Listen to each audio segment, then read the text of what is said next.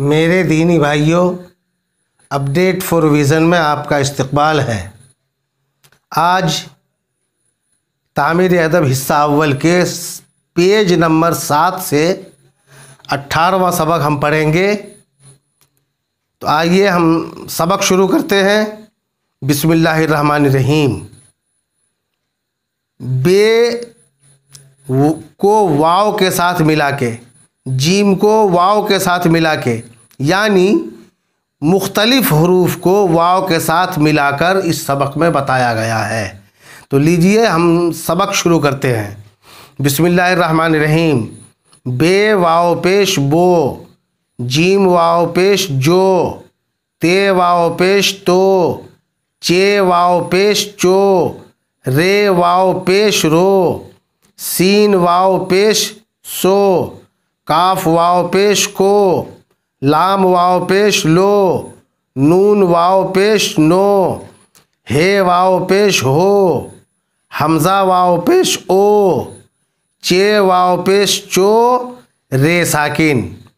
अब चे को वाव के साथ मिलाकर एक हर्फ और मिलाया गया, जिससे एक लफ्ज़ बन गया। चे वाव पेश चो, रे साकिन, चोर। जे वाव पेश, जो रे साकिन, ज़ोर। सीन वाव पेश, सो चे साकिन, सोच। काफ वाव पेश, को टे साकिन, कोट। बे वाव पेश, बो लाम साकिन, बोल। गाफ वाव पेश, गो लाम लाम साकिन, गोल। लाम वाव पेश, लो। गाफ साकिन, लोग। बे वाव पेश, बो, रे अलिफ जबर, रा बोरा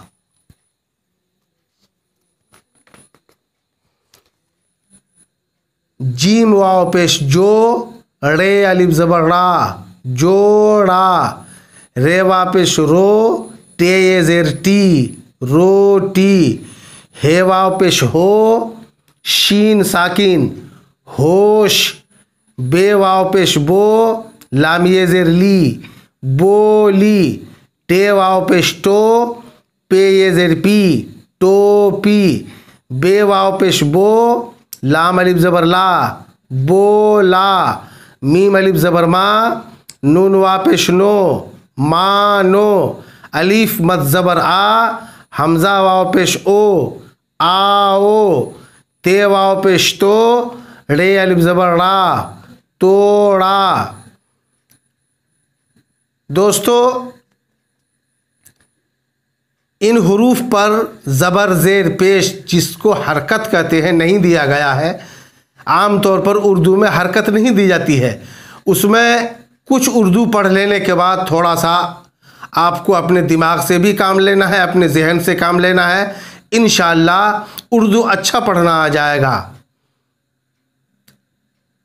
अट्ठारहवा सबक आज का ख़त्म हो गया।